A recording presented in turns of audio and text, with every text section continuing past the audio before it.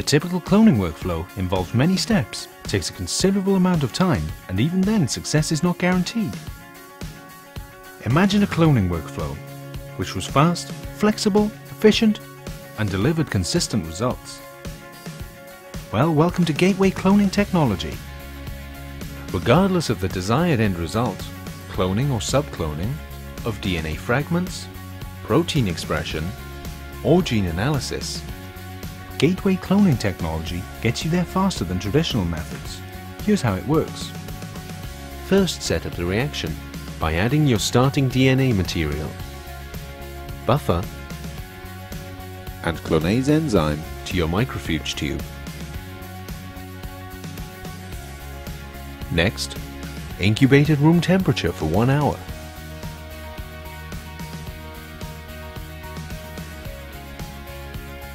Then add competent cells to your mixture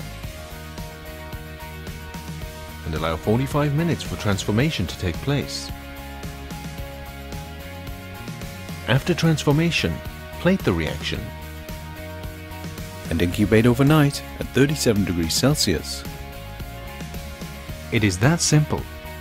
Gateway cloning technology gives you fast, one hour room temperature cloning reactions with greater than 99% efficiency maintains orientation and reading frame without using restriction enzymes or ligation, eliminates resequencing, ensuring consistent results throughout your experiment.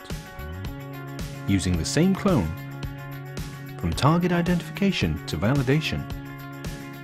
Shuttles DNA from one entry clone to multiple expression vectors, affording flexibility while simplifying your cloning workflow.